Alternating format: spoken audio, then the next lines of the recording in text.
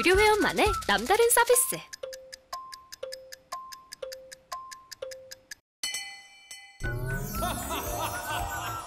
합격! 합격하고 돈도 받는 혜택. 오직 에듀윌 유료 회원에게만.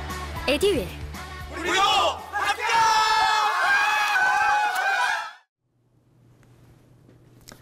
여러분 반갑습니다. 시사상식 11호로 시작을 해보도록 하겠습니다. 자, 이제 우리나라가 대선 국면에 들어갔습니다. 이제 막, 어, 대선 후보들이 어, 속속 이제 이 대진표를 완성하고 있는데요. 그러다 보니까 뉴스들의 중심이 그쪽 정치 쪽 뉴스로 많이 기울어져 가는 경향이 좀 있습니다. 그 점 감안하셔서, 어, 너무 또 거기에 매몰되지 마시고, 어, 우리가 이제 상식 공부를 한다 이렇게 생각하고 시사를 접할 때에는 어, 각 분야별로 숨어 있는 어, 이 필요한 기사거리들이 상당히 많습니다. 그래서 그 필요한 기사거리들을 쏙쏙쏙 잘 뽑아내 가지고 예, 그걸 바탕으로 해서 어, 좀 많이 좀 읽어보시고 생각도 해보시고 이렇게 하실 필요가 있다는 점을 어, 말씀을 드리는 바입니다.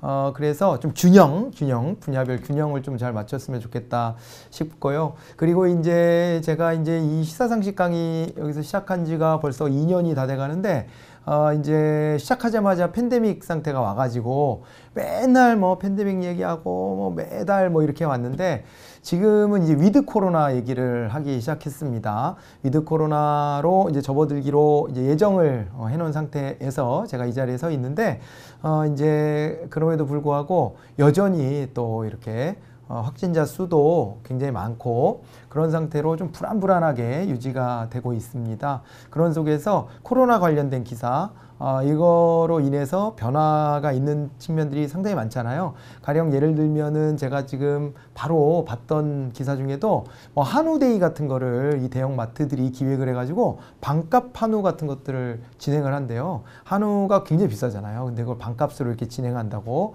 하는데 어 그게 이제 수익 구조가 나서 하는 것이 아니라 어 마트가 이제 더 이상 예전과 같은 지위를 유지하지 못하고 어 지금은 또 이렇게 많이 밀려났다는 거죠. 이제 온라인 마켓에 많이 밀리다 보니까 아 이제 이런 어떤 이벤트라도 좀 해서 미끼 상품을 걸어서 매출을 좀 신장시켜 보자라고 하는 그런 취지가 있다고 합니다.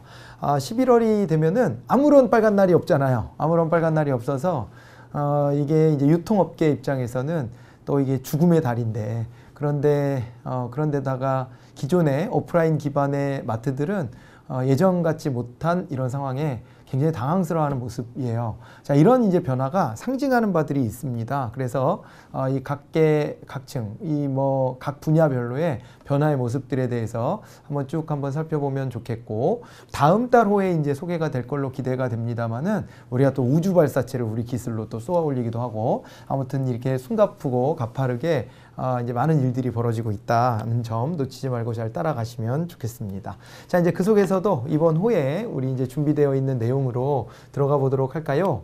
자, 이제 커버 스토리로 가보니까 노벨상 수상자 발표 소식이 전해져 있습니다. 노벨상이 뭐라고 사실은 생각해 보면 그냥 뭐 상이잖아요. 상인데 상에 뭐 눈이 멀어서 어떤 행위를 한다는 것은 어릴 때나 그렇게 하는 거죠. 사회와 가정에서나. 그렇지만은 아, 이게 이제 나이가 들어가고 네, 어른이 되어도 이 영예로운 상들이 있습니다. 그러니까 안 받아도 그만이에요. 사실은 이제는 안 받아도 그만이지만 뭔가 이제 우리들끼리 자축한다라고 하는 느낌이랄까? 이런 속에서 열심히 노력한 사람에 대해서 사람들이 칭찬해주고 같이 박수 쳐주고 그리고 또 이제 명예를 거기다가 또 부여해주고 하는 행위들을 합니다. 뭐 이거에 선정 안 됐다고 좌절하거나 우리는 이렇게 몇 명밖에 없어 갑자기 여기다가 벼랑간에 국가주의를 집어넣고 이렇게 하는 건 굉장히 촌스러운 일인데 그런데 이제 그런 거를 떠나서 일단은 어, 굉장히 이게 권위 있는 상으로 이제 자리 잡은 거잖아요. 노벨상 같은 경우는 세계에 존재하는 그 수많은 상들 중에서도 어떻게 보면 가장 권위를 인정받고 있는 상이다 이렇게 볼 수 있으니까 어 요거에 대해서 관심을 갖는 것은 또 필요한 부분인 것 같고요. 어 이제 어떤 쪽에다가 지금 서구 사회 이게 서구 사회 관점이 많이 반영돼 있거든요. 서구 사회가 어느 분야에다가 초점을 맞추고 있는가를 한번 확인해 보는 계기는 될 수 있어요. 그러니까 아, 문학상이다 그러면 이제 문학의 이 어떤 흐름, 음, 어떤 메시지를 이 안에 담는 거를 원하는가, 아, 어디에 관심이 있는가, 뭐가 문제라고 생각하고 그 문제를 어느 부분을 건드려야 된다라고 판단하고 있는지 그런 것들을 보여주는 계기가 되죠. 어, 노벨 평화상도 마찬가지예요. 그 서구사회 관점에서 평화를 논하고 있는 것은 분명히 맞거든요. 한계가 있는 상입니다, 분명히. 그렇지만은, 아, 이들이 이런 쪽에 관심을 갖고 있구나라는 것을 어, 이제 읽게 하는 하나의 이제 힘이 있죠. 경제학상 같은 경우도 마찬가지예요. 경제학상 같은 경우도 어, 이게 뭐 흐름이 좀 있거든요. 이게 과거에는 이제 주류 경제학들에다가 상을 주다가 최근에 10여 년 뭐 벌써 그렇게 된 것 같습니다. 이제 행동 경제학 쪽으로 넘어와서 비주류 경제학이라고 일컬어졌던 쪽에 관심을 갖고 이쪽에다가 어, 상들을 주고요. 그리고 또 최근에는 불평등 문제 같은 것들이 많이 이제 어, 도처에서 이 우리 저 이 지구 곳곳을 다 위협하고 있잖아요. 어, 그런 것을 반영해서인지 교육이라든가 아니면은 또 이제 최저임금제 같은 거 이런 것들에 방점을 찍고 올해 또 상을 수여해주고 이렇게 어, 진행하고 있습니다. 그래서 그런 흐름들을 알아내는 것도 과학도 과학대로 어떤 진전이 있는지 우리가 좀 탐색해 볼 수 있는 기회는 될 것이다. 그리고 이렇게 업적을 열심히 노력해서 만들어낸 인류에 기여한 분들에게 우리가 또 존경심도 좀 갖, 갖고요. 박수 쳐주고 이럴 필요도 있는 거죠. 그런 정도로 노벨상은 이해하시면 될 것 같습니다. 노벨상의 뭐 기원 같은 거는 잘 알고 있죠. 우리 또 이 읽을 거리에 그 소개가 되어 있습니다만은 다이나마이트를 이제 개발을 했는데 이것이 이제 살상 무기로 사용되는 것을 개탄하면서 돈을 많이 벌게 됐던 이 노벨이 어 이게 자기의 재산을 어 이제 털어서 유언으로 이 상을 제정해 달라라고 얘기를 해서 아 요게 이제 시작이 됐다 이렇게 되어 있습니다. 그래서 이게 보면은 어 이게 생리의학상, 물리학상, 어 화학상, 문학상, 평화상 어, 경제학상 등 여섯 분야에 걸쳐서 수여가 되고 있고 그 다음에 이 경제학상이 이제 마지막에 합류했다 이런 부분이 나와 있을 거예요. 자 그래서 이제 이렇게 여섯 분야에 수여를 해주고요. 특히 이제 과학 쪽에 방점이 많이 찍혀 있습니다. 과학 쪽이 중점이 되고 있다 이렇게 좀 보시되 거기에 이제 평화상, 경제학상 같은 것들이 와서 붙었죠. 문학상도 물론 있습니다만은 어, 이렇게 해서 이제 어, 여섯 부분에 걸쳐 수여를 하고요. 그러니까 비과학 분야가 세 개가 되어 있긴 하네요. 지금은 이제 균형은 이루어 있네요. 올해 노벨 생, 생리의학상은 사람이 어떻게 온도와 촉각을 느끼는지를 규명했대요. 어떻게 온도와 촉각을 느끼는가. 예, 이거 저는 그냥 뭐 잘 못 느껴서 아 추운 건 잘 느껴. 추운 건 잘 느끼는데 나머지 감각이 부족한지라 내 감각 신경 쓰기도 참 어려운데 이분은 지금 이게 보면은 어떻게 했어요? 이거가 어떻게 해서 이렇게 느껴지는 건지를 규명을 했대요. 데이비드 줄리어스라는 분이고요. 그리고 이제 아뎀 파타푸티언이라는 분인데요. 이 두 분이 공동으로 수상했다고 합니다. 자 물리학상은요 기후 변화를 예측을 했답니다. 그래서 이제 마나베 슈쿠로 예, 성함도 좀 어려워요. 클라우스 하셀만 아, 이 분들이 이제 또 받았고 어, 복잡계 이론에 공헌했 어, 공헌한 어, 조르저 어, 파리시 등 3인이 선정됐다 이렇게 돼 있는데 복잡계 이론은 일종의 이제 이게 보면 빅데이터죠 빅데이터 빅데이터 안에 하나의 흐름이 존재한다라고 하는 어, 이런 걸 밝히는 겁니다. 그러니까 모든 것들이 다 이제 어, 뭐, 이제 혼동에 빠져 있다. 뭐, 이른바 카오스 이론 같은 것도 이게 연계가 좀 되는데, 그런 속에 빠져 있, 지만은 나름의 규칙성, 법칙성을 가지고 이게 움직여진다라고 하는 거를, 어, 이제, 어, 이야기하고 있다. 이렇게 봐두시면 되겠습니다. 그래서, 어, 그런 측면에서 요게 이제, 어, 지금 복잡계 이론은 좀뭐 꽤 유행하기 시작한 지 꽤 좀 시간이 지나고 있어요 이것도. 예, 그러고 있지만은 여전히 이건 말 그대로 복잡계니까 밝혀야 될 것들이 수두룩 빽빽이겠죠 여전히. 그래서 이런 부분에 공헌한 어, 업적을 기려서 노벨상 수상자로 발표를 했다 이렇게 보시면 되겠습니다. 문학상 수상자는요 탄자니아 난민 출신으로 탈식민주의 문학에 천착한 압둘라자크 구르나.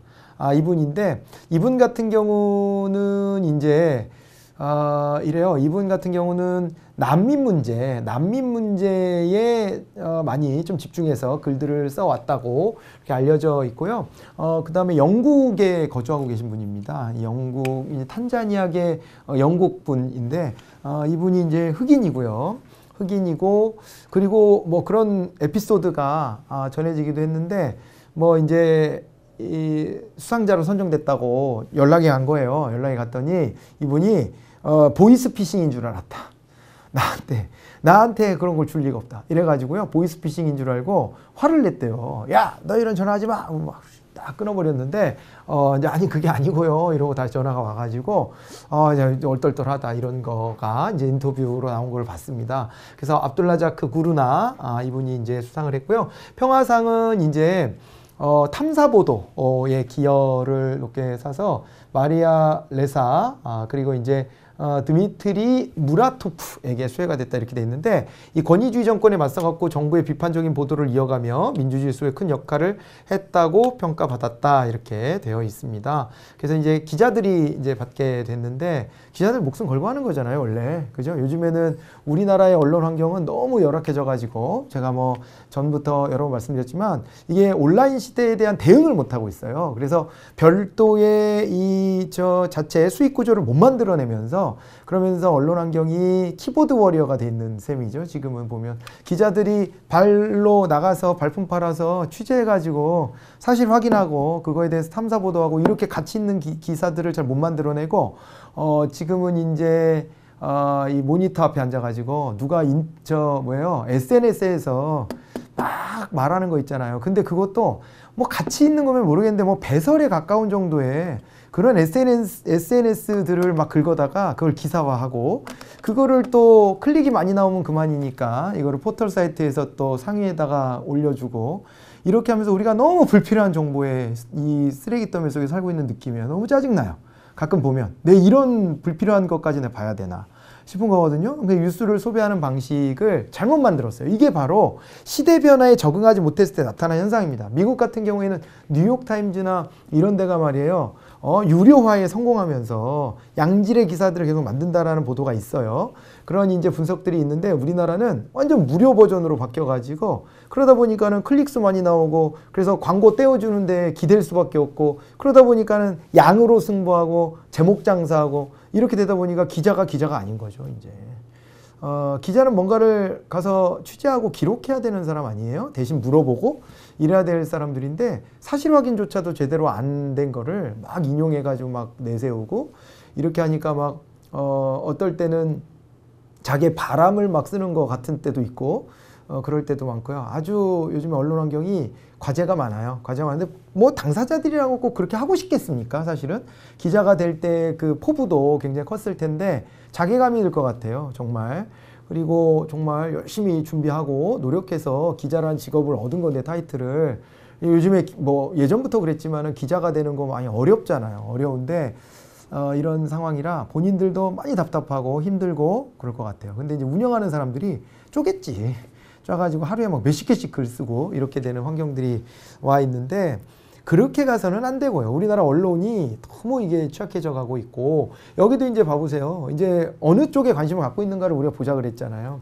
보니까 이제 거대 권력에 맞서 가지고 이 탐사 보도하고 어 이런 쪽에 좀 높은 점수를 주고 있구나라는 것을 알 수가 있을 거예요.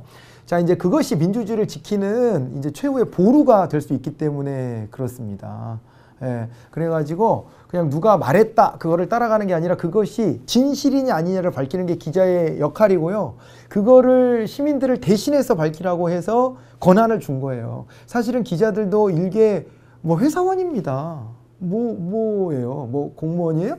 아니잖아요. 공무원도 아니고 무슨 뭐 국가 권력 뭐 선거로 당선된 것도 아니고 뭐요? 그런데 기자들한테는 엄청난 권한을 줘요. 기자들이 가서 아무데나 막 마이크 뒤밀고 취재하고 막 이럴 때 어, 그거에 공신력을 실어주잖아요. 그 실어주는 것은 시민들이 우리가 자발적으로 민주주의를 수호해야 하는데 그거를 우리는 또 생계에 매달려야 되니까 그 역할을 누군가 대신해 줘야 되고 그런 거를 뭐 정치 영역도 따로 있고 뭐 다 권력의 영역은 따로 있지만 그 바깥에서 또 권력을 견제하는 역할도 시민들이 해야 되는데 그 역할을 대신해 주라고 기자들 두고 있는 거거든요. 그런 취지가 반영돼 있는 거라고 생각하시면 됩니다. 네. 뭐 필리핀 같은 경우 두테르테 뭐 아시잖아요. 두테르테. 대선 후보들끼리도 너 두테르테 같아 막 이러고 그래가지고 야 두테르테라고 이렇게 말하면은 외교 외교 결례 아니냐 뭐 이러면서 얘기들도 나오고 막 그러는데 어, 워낙 이제 거친 캐릭터로 정평이 나 있죠, 그죠? 음. 그래서 이제 필리핀에 총기도 허용되어 있고 각종 그 강력 범죄가 너무 어, 많으니까 이거를 갖다 그냥 막 직권 처분해가지고 막, 어, 총 쏴서 막 사람들 막 죽게도 하고 뭐 이렇게 해서 범죄를 다스리겠다 뭐 이렇게 한 분, 음, 사람이고요. 인물이 캐릭터가 민주주의랑은 좀 거리가 좀 느껴지는 분이긴 하지. 그래서요. 아무튼 거기에 이제 어, 맞서서 탐사보도하고 비판적 보도를 이어갔다. 러시아 같은 푸틴도 뭐 둘째가라면 서러운 캐릭터 아닙니까?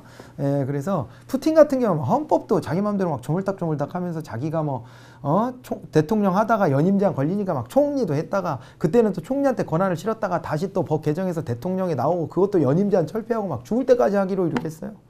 그래 러시아 사람들이 강력한 자기네 대통령이 필요하다. 그러니까 예전에 그 냉전 체제 때 미국과 맞섰던 그런 어, 소련 시대를 갈망한대잖아요. 그러면서 민주주의를 스스로 엿바꿔 먹고 있는 거거든요, 사실은. 푸틴이 굉장히 높은 지지율을 가지고 있고 헌법 개정할 때도 그냥 그걸 내비로 두고 이렇게 하고 있어서 참 그 러시아도 좀 안타깝게 짝이 없어요. 그런데 이런 부분에서 이렇게 맞서 싸웠다라고 하는 평가 이런 것들이 있습니다. 자 노벨 경제학상은 잠깐 이제 앞에서 말씀드렸었는데 최저임금제 문제, 어, 최저임금이 말이에요. 최저임금이 어, 이제 고용에 악영향을 미친다라고 하는 게 이 줄기찬 주장 아닙니까? 우리나라 한 3년 전쯤에는요. 어, 폐, 저, 왜, 이, 어, 저, 뉴스만 열면요. 최저임금 때문에 나라 망한다가 메인이었어요. 계속. 거의 1년 내내 그랬던 것 같은데. 최저임금 너무 오른다고. 어, 그렇게 했는데 그런 걱정도 이해가 됩니다. 10분 이해가 되고, 어, 그런 염려들이 있는 거죠. 실제로 한계 기업이라고 일컬어지는 어, 그런 기업들은 특히 이제 영세 자영업자 이런 사람들은요. 어, 요게 어려움을 겪죠. 어려움을 겪게 마련이고요. 최저임금 감당이 안 되니까. 어, 아주 소기업 이런 데들은 이제 그렇게 되는데 다만 냉정하게 말하면 그 기업들이 존속하는 게 옳으냐의 질문도 사실은 있어야 돼요. 최근에 모 또 대선 후보가 음식업 같은 거, 요식업 같은 거에 진입할 때 장벽을 좀 세우게 세우는 걸 고려해 볼 수 있을 것 같다라는 식의 얘기를 했다가 또 이제 막 논, 논쟁이 벌어졌는데 그런 논쟁은 좀 필요하다고 봅니다. 어, 그게 일종의 내 직업 선택의 자유라는 부분도 있지만 온정적 간섭이라는 측면이 있는 거거든요. 국가는요, 그 사람을 보호해주기 위해서 간섭하는 측면도 가져야 되는 거예요. 거기에 경계에서 어느 정도 선을 갖는 규제를 만들 것이냐는 우리의 사회적 합의입니다. 사회적 합의인데 그런 이슈에 대해서도 논의를 좀 해볼 필요가 있어요. 그러니까 이거를 막무가내로 다 이제 뭐, 뭐 직장에서는 뭐, 어, 그죠? 구조조정이네 뭐네 그래서 또 비정규직이네 뭐네 그래서 오랫동안 근무 못하고 그러다가 이제 결국에 나이 들어서 어디 오라는 데 없고 이렇게 되면은 결국에 자영업으로 다 뛰어드는 구조이고 자영업에서는 또 무한 경쟁을 하다가 망해먹는 사람이 수두룩하고 이렇게 되잖아요. 그렇게 되고 너무 가게들도 많으니까 어, 저도 지나가다가 그 이, 우리 동네 이런 상점이 있었네. 라고 하는 걸 알게 될 때는 그 집에 공사를 할 때요. 기존에 가게가 있을 때는 제가 잘 모르는 가게들이 더 많고, 그래서 공사를 하면, 아, 여기 뭐가 있었더라? 그때서야 관심이 가더라고요. 그러니 그렇게 망해 나가는 데가 이렇게 많은데, 이거를 그냥 자유시장 경제니까 맡겨놔야 된다는 것이 과연 옳은 것이냐? 아니면은 이거에 대해서 정부가 일정 부분 좀 나서서 규제를 하는 게 옳은 것이냐? 이거는 좀 사회적 논쟁거리는 충분히 될 수 있을 것 같고요. 아무튼 이제 그런 논쟁들이 원래 선거 기간에는 그런 여러 가지 정책 아젠다들이 막 쏟아져 나오고 어떤 경우에 좀 들다듬어진 것까지 막 튀어나와서 논쟁거리를 만들어준다라는 것은 나름 긍정적인 기능이 있어요. 그게 뭐 채택이 안 되더라도 야 생각해보니까 그건 아닌 것 같아 이럴 수도 있는 거죠 물론 그럴 수도 있는 건데 어쨌거나 그런 논쟁거리가 좀 필요한 영역이에요. 아니 그렇게 해놓은 상태에서 그럼 나 직장이 없고 일자리가 없지 않냐 하면은 거기에 연동해서 그 다음 대안을 국가에 요구해야 되는 거예요. 그렇게 가야지 자유시장 경제니까 우리가 다 알아서 살아야 돼 이런 기조를 가지고 하기에는 우리가 앞으로 맞닥뜨려야 될 세상에는요 사람이 별로 필요 없는 세상이 됩니다.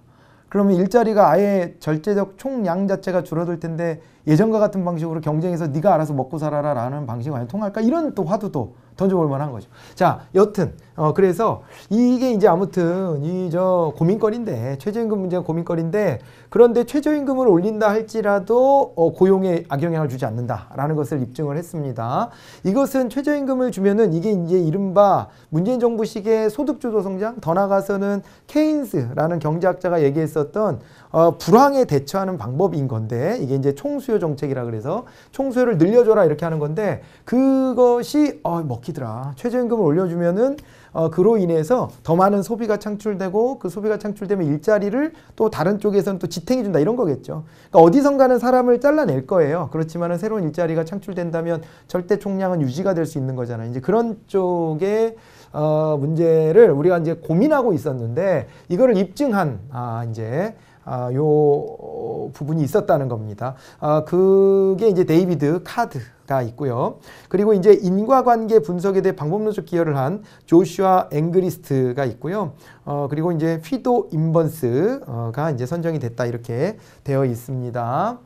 자, 그리고 노벨상은요, 이제 역사적으로 가보면요, 초기에는 물리학상, 화학상, 생리의학상, 문학상, 평화상 다섯 부문에 걸쳐 수여되다 69년부터 경제학상이 새로 추가가 됐습니다. 노벨상은 단체한테 주기도 합니다. 예, 세계 평화에 기여한 단체에 주기도 하지만, 어, 이걸 제외하고는 이제 나머지는 다 개인만 선정되게 돼 있고요. 이게 공동 수상을 할 수도 있기는 합니다. 공동 수상하면 그 10억 원 정도 되는 그 상금을요, 나눠 갖는 거죠.